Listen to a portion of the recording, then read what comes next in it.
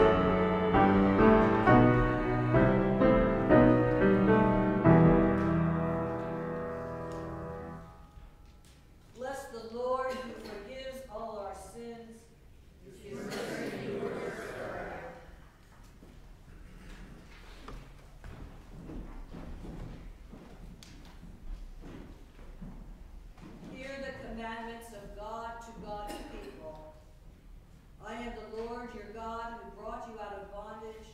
You shall have no other gods but me. Amen. Lord, have mercy.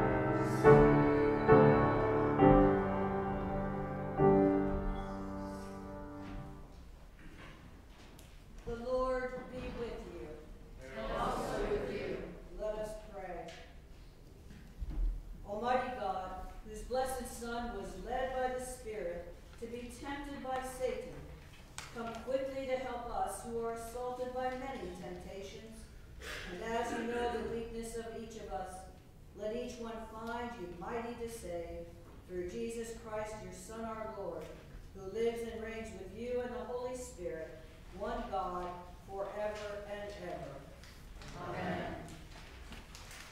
Let us pray our shaped by faith prayer.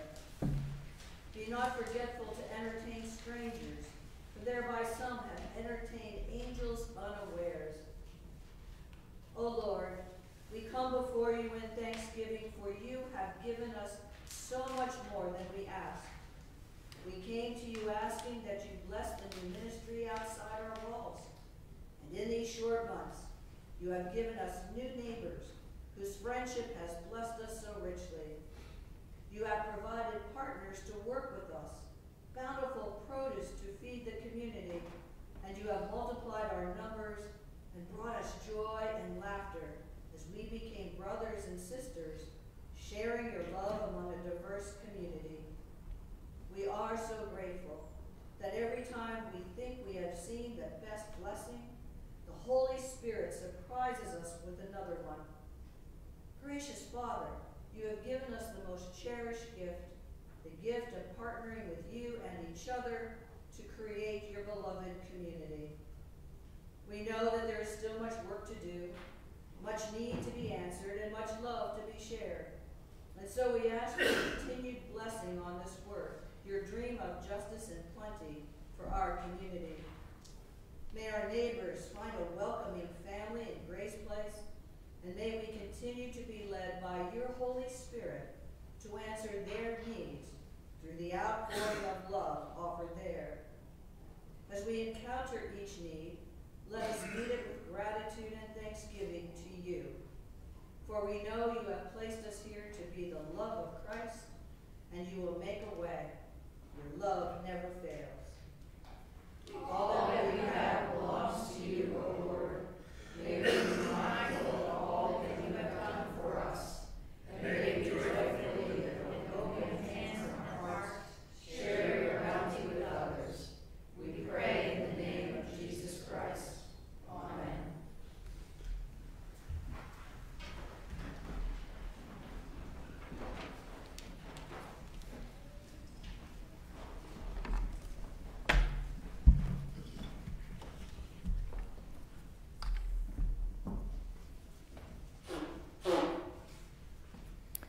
A reading from the book of Genesis.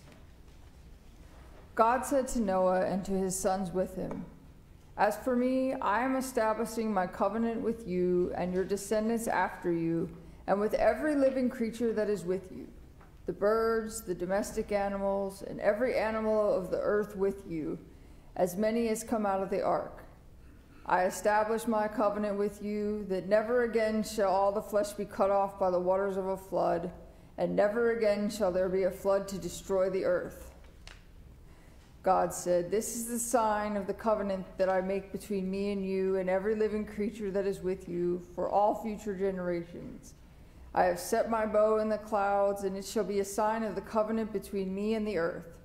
When I bring clouds over the earth, and the bow is seen in the clouds, I will remember my covenant that is between me and you and every living creature of all the earth and the waters shall never again become a flood to destroy all flesh. When the bow is in the clouds, I will see it and remember the everlasting covenant between God and every living creature of all flesh that is on the earth. God said to Noah, This is a sign of the covenant that I have established between me and all the flesh on the earth. The word of the Lord. Thanks be to God.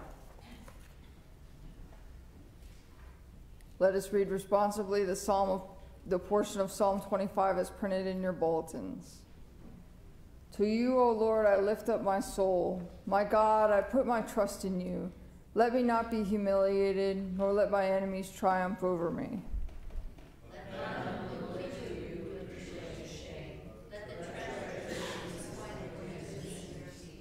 Show me your ways, O Lord, and teach me your paths me in your truth and teach me, for you are God and salvation. In you have I trusted all day long. Remember, O Lord, your compassion and love, for they are from everlasting. Sins and transgressions. According to your love, and for the sake of your goodness. Gracious and upright is the Lord, therefore he teaches sinners in his way. He guides the humble in doing right, and teaches his way to the lowly. All the paths of the Lord are love and faithfulness to those who keep his covenant and his testimonies.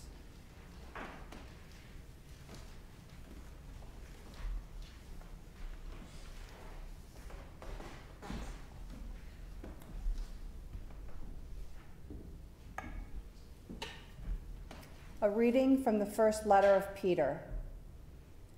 Christ also suffered for sins once for all, the righteous for the unrighteous, in order to bring you to God.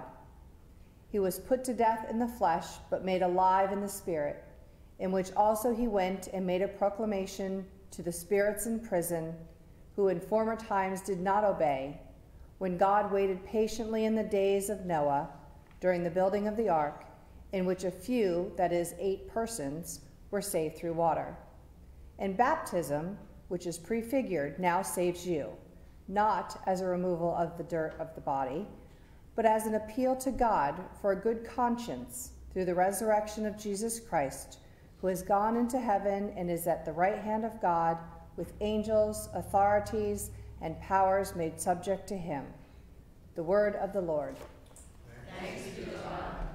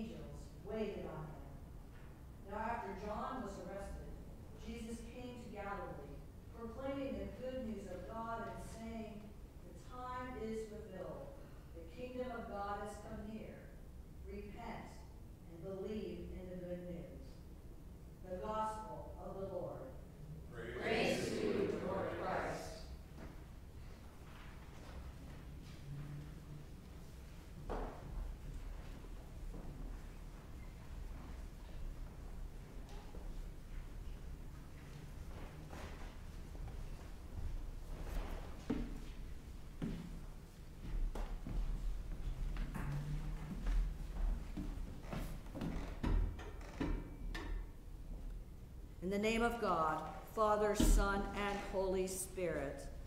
Amen.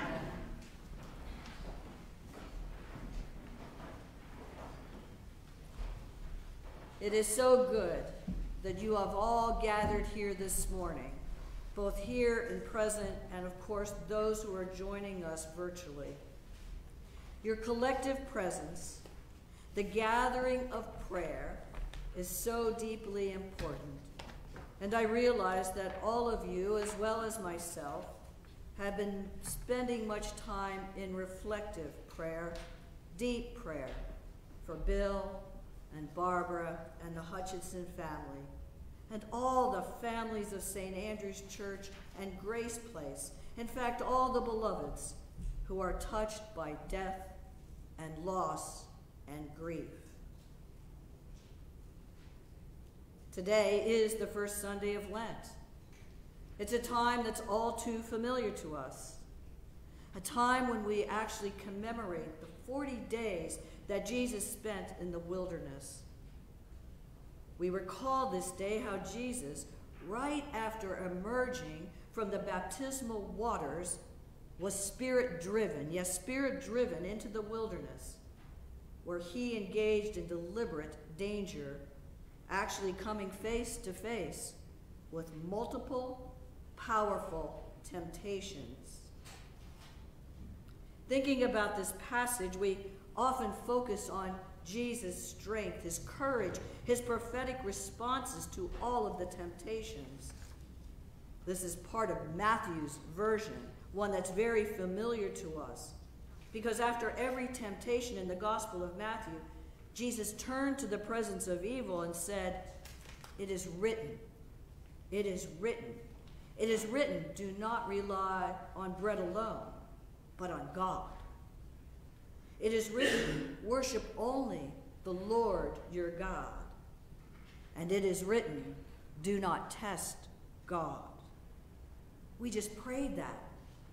We just prayed that in our Decalogue. Well, Jesus lived these words, spoke these words as a way to navigate the wilderness through all the temptations. But just for a moment, let's think about Jesus' humanity. Humanity and how he responded in the wilderness. We can all imagine that he was deeply hungry, how much he must have been hurting. He must have been grieving his community. He was out there alone for 40 days in a hot, dry, cold at night desert. In the brevity of Mark's gospel this morning, it seemed that what sustained Jesus was relying on the assurance, the blessed assurance of the holy word of God. As the psalmist put it in the 23rd psalm, that he could walk through the shadow of death, knowing God is with him. He knew, he heard, he was beloved by God right after his baptism. And I believe that's our important focus for this morning's gospel and throughout our whole journey through Lent. It's the awareness of belovedness that allowed the holy, living Word of God to carry Jesus through his trials and tribulations. It was the word spoken You are my beloved, you are loved. And as our presiding bishop, Michael Curry, wrote and preached, love shows us the way in the most difficult of times. That love is the gospel assurance of belovedness. Our observance this Lent is in actuality a part of our day to day experiences where we are more aware how deeply connected we all are one to another and to God. And perhaps this day we are spiritually feeling as if we are in the wilderness. Or perhaps we are a place in our journey where wilderness is more in the past than the present. Or perhaps wilderness is something we might even wonder have we really experienced it or not? Now, here at St. Andrews, we are standing at the threshold of Lent, and yet I know it seems as if instead of walking through the threshold of Lent, we are instead standing at the cross. As if we are somehow emerging from Gethsemane, where we watch and pray and weep. We weep with our dear beloved Rector Barbara and the whole family, who are so deeply connected to us that we are all know that we are acquainted with grief and loss. The wilderness is a place of loss and grief, disappointment and regret. It is a deserted place. It is a place where we bump up against our own limitations. We face our own powerlessness. It is a place of risk and vulnerability, uncertainty, and always without guarantees. It's where we realize once again or maybe for the first time, that every day our life hangs in that balance of turning to God or running away from God. For it is in the wilderness where we discover who we are, whose we are, and what really matters. For Jesus, the wilderness, I believe, was the birthplace of his belovedness put into action. That abounding, life giving love of God literally helped him stop each temptation. And I wonder do we believe how beloved we are. We are God's beloved. And as our Bishop Audrey Scanlon shared in her Friday video, and I hope that you all kind of tune into that Friday video, we are called to open ourselves to God, to look at the brokenness in our lives, and ask God to work with us to create wholeness again and again and again. Because that's the mission of Jesus Christ. So, navigating the wilderness times of our own lives, we discover that love is the way of life. And I realize that our journey into the discovery and embodiment of the love of God is indeed a rocky road. There's no such thing as human life that is completely free of fears, anxieties, insecurities, grief, sadness, or doubts. Remember, even Jesus on the cross, according to Mark and Matthew's version, questioned God's presence with him. As a church, our journey through Lent will lead us definitely to Good Friday with the gift and promise of Easter Sunday. You know, as an old priest doing this for a long time, and I look back at the attendance that used to be on Good Friday, and now in most congregations, not only in this diocese but across the United States, there isn't a filled to capacity, standing room only, gathering for Good Friday. I wonder why. Right now, the question is how do we live in this liminal space we call Lent as we make our way to Easter? So I don't know how many of you saw the movie, a movie, A Case for Love, and I hope some of you did. But in that movie, there's this amazing invitation for all of the watchers, well, actually for all of us, to make a commitment to do an intentional act of unselfish love every day. They even provide a guide that you can even write kind of journal along the way if you Google that. Because as presiding bishop Michael Curry preached, what would love do? What would love do? Well, I realize that love calls us to be gentle with ourselves, to forgive our own mistakes, to take seriously the Sabbath. Love calls us to be in love with God, to cultivate this deep, loving relationship with God to spend time with God and be still and know that God is God. And when we do that, I warn you, it does mean that the pain and grief of life is often experienced more deeply. But it is the way of love.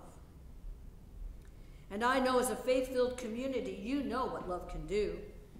Your expressions of love as you care for your beloved rector and family, as you care for your neighbors, as you attend to those who hunger, to those who are in poverty, to children, and to all of God's beloveds who need to experience the grace of God that's offered through this parish and Grace Place. You live it. So may this Lent help us to continue to focus more and more on the love of God. So that the more we reflect on God's love, the more we can't but help love God more. It always gets us through the wilderness. This is our Lenten action, which is not necessarily giving up or taking on something new, which is, by the way, commendable. But I think our call this day is to fall more deeply in love with God and each other, which gives us strength and courage to manage and go through all the challenges of the wilderness. This is the urgent mes- message of the Gospel of Mark love pouring out from the Scripture, love pouring out from Jesus. Remember what he did? He left the wilderness and got Mark's Gospel and went and proclaimed the good news of God love pouring out from the angels who even tended to him. Let us remember this day that Jesus responded to every destructive temptation with, It is written. It is written. It is the prophetic writing of Isaiah.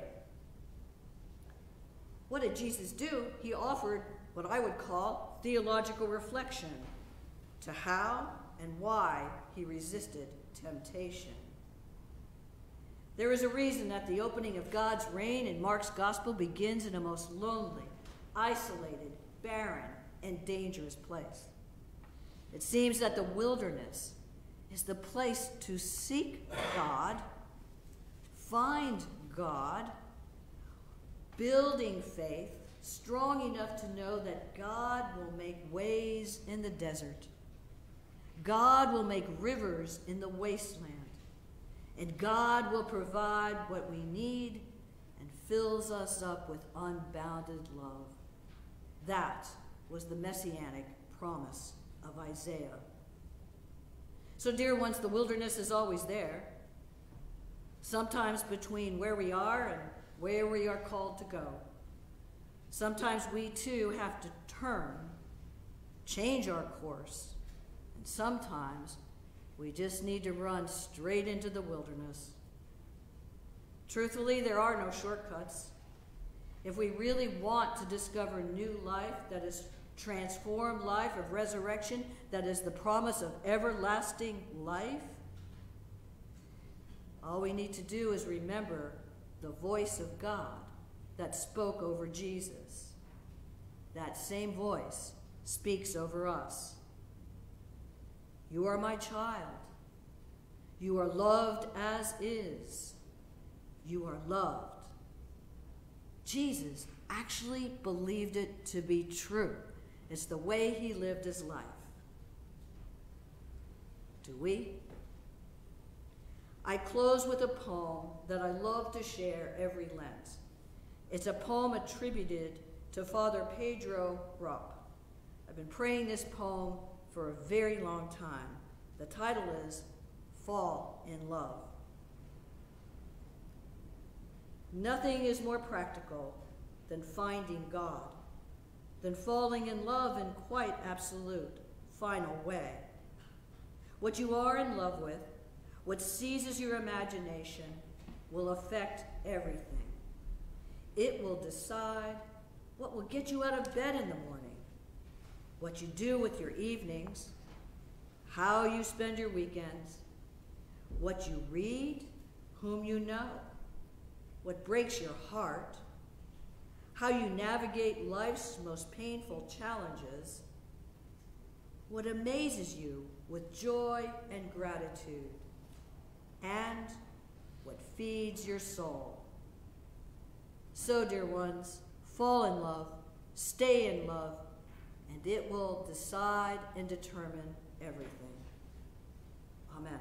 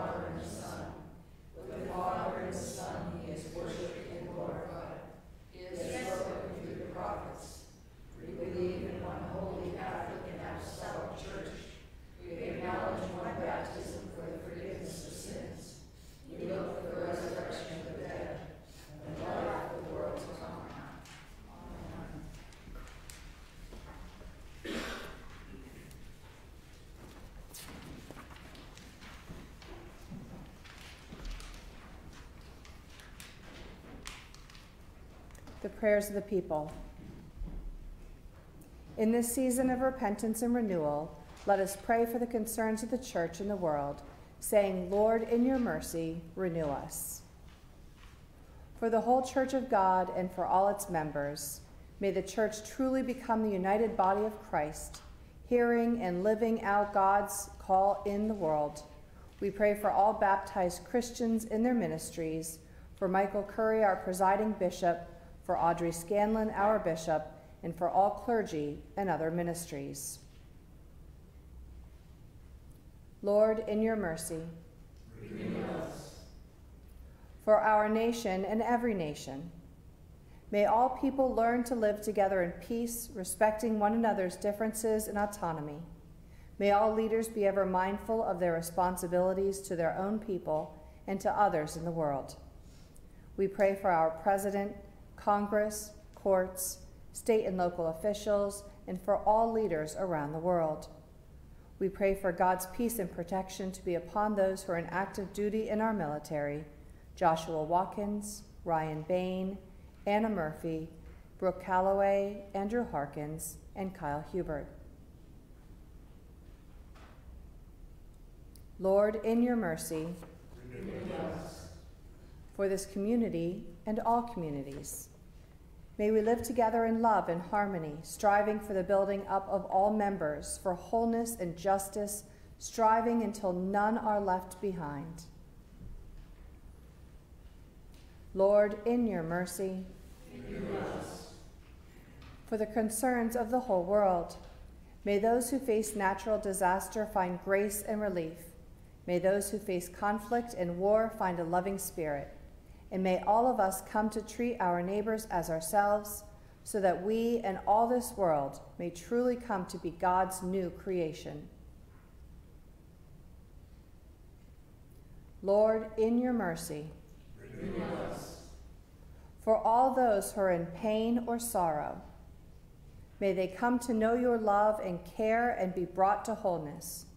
For those who suffer in body, mind, or spirit, for the poor, the persecuted, and those in prison, for those who are lonely, homeless, or hungry, for all those we now remember, especially Bill, Mother Barbara, Andrew and Philip, Bev, Brandy Brown, Shannon, Ginny W., Danae Pyatt, our presiding Bishop Michael Curry, Marty, Marion, and Barbara, Alan and Barbara, Susan, the Peskowski family, Gary and Katie, Anne, Brooklyn, Shayla and James, Betsy, Carol, Joanne, Ken and Melissa, Effie, Luann, Kathleen, Gary, Roseanne, Kathy, Wanda, Brian, and all those who in this transitory life are in trouble, sorrow, need, sickness, or other adversity. Lord, in your mercy, for all the blessings of this life, may we truly celebrate the life we have been given and our time with one another for new beginnings, anniversaries, and birthdays, and for all the joys of this life we thank you for all other thanksgiving we now offer silently or aloud.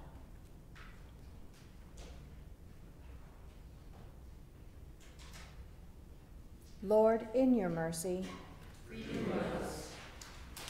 for all who have died, remembering especially Bill, may those who now live in the joy of God's presence find their rest in God's peace. We pray for those who we now name silently or aloud. Lord, in your mercy, O God, whose desire it is for all people to turn to you and be renewed in your love, grant these prayers in your mercy, and according to your will,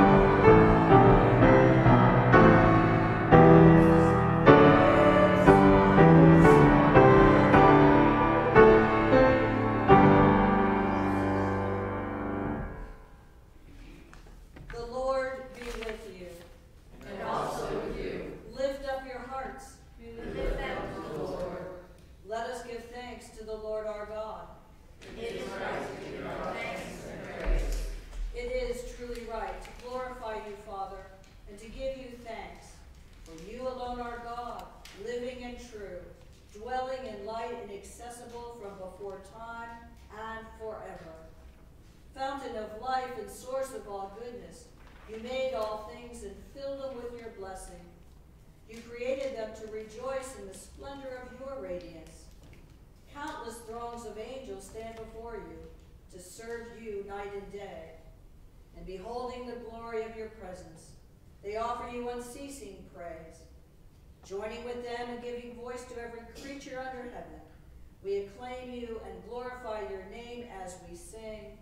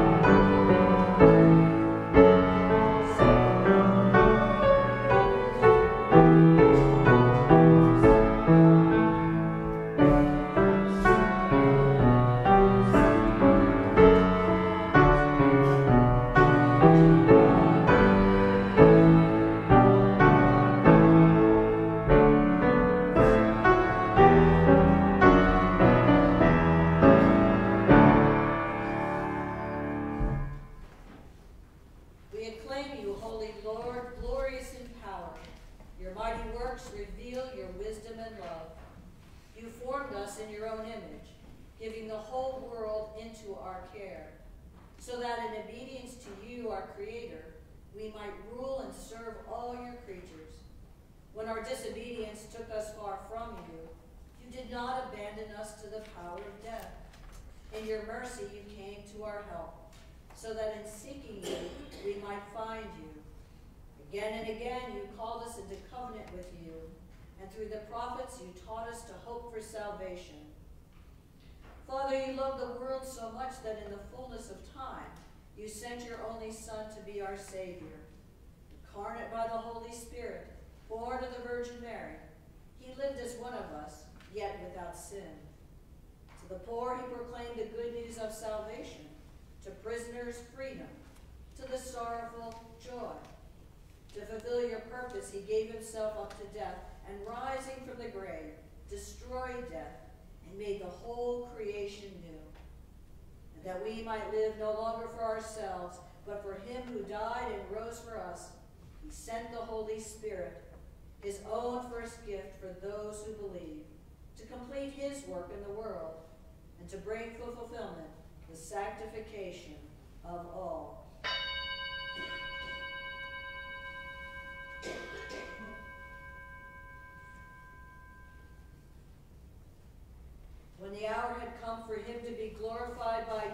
Heavenly Father, having loved his own who were in the world, he loved them to the end.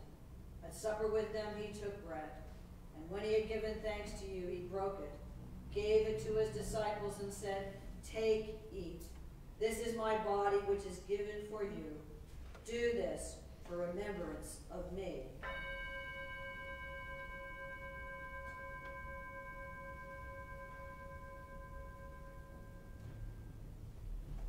After supper, he took the cup of wine, and when he had given thanks, he gave it to them and said, Drink this, all of you. This is my blood of the new covenant, which is shed for you and for many for the forgiveness of sins. Whenever you drink this, do this for remembrance of me.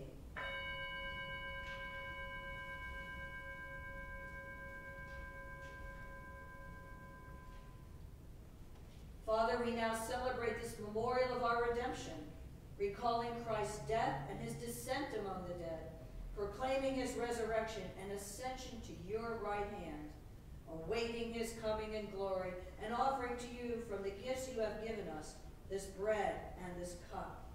We praise you and we bless you. We praise you, bless you, we give thanks to you, and we praise you, Lord our God. Lord, we pray that in your goodness and mercy, your Holy Spirit may descend upon us and upon these gifts, sanctifying them and showing them to be holy gifts for your holy people, the bread of life and the cup of salvation, the body and blood of your Son, Jesus Christ. Remember, Lord, your one holy, Catholic, and apostolic church, redeemed by the blood of your Christ. Reveal its unity, guard its faith, and preserve it in peace.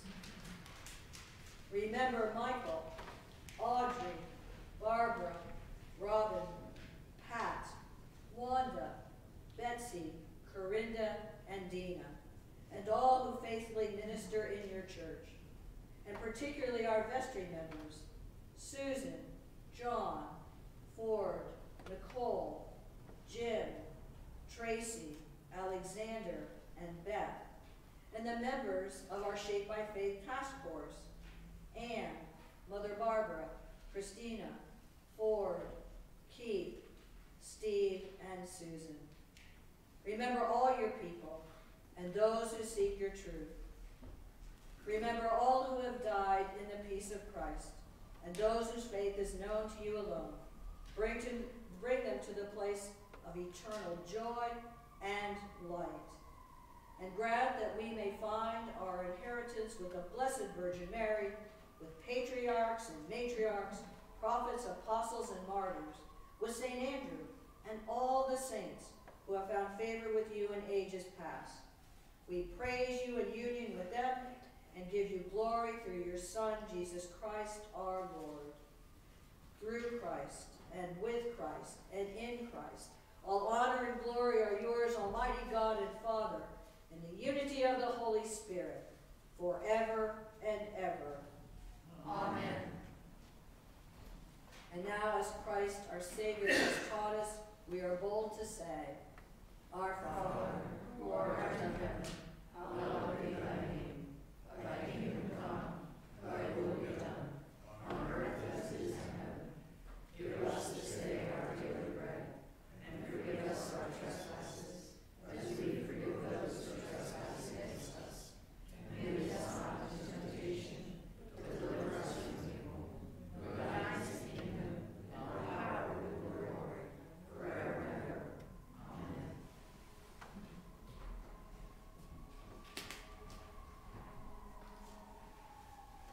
Christ our Passover is sacrificed for us.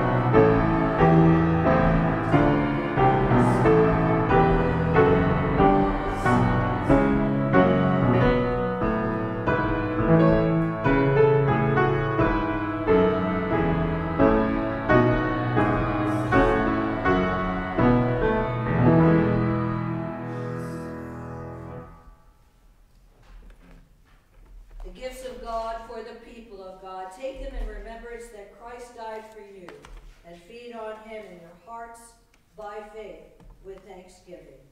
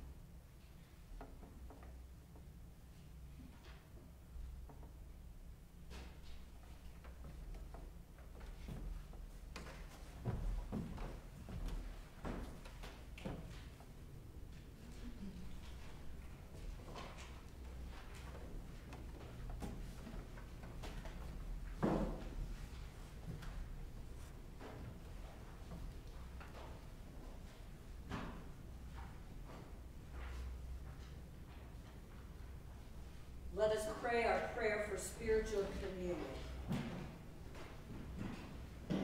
Dearest Jesus, we believe that you are truly present in the Holy Sacrament. And since we all cannot receive communion in consecrated bread and wine, we pray that you come into our hearts. We unite ourselves with you and embrace you with our hearts, souls, and minds. Let nothing separate us from you. Let us serve you in this life till by your grace we come to your glorious kingdom and unending peace. Amen.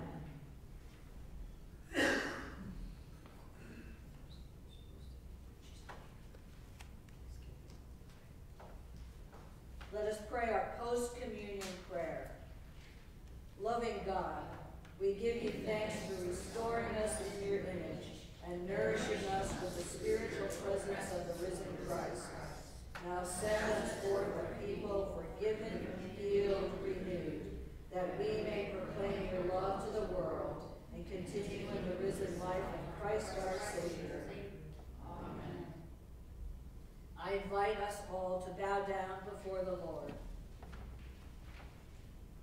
Grant, Almighty God, that your people may recognize their weakness and put their whole trust in your strength, so that they may rejoice forever in the protection of your loving providence. Through Christ our Lord. Amen.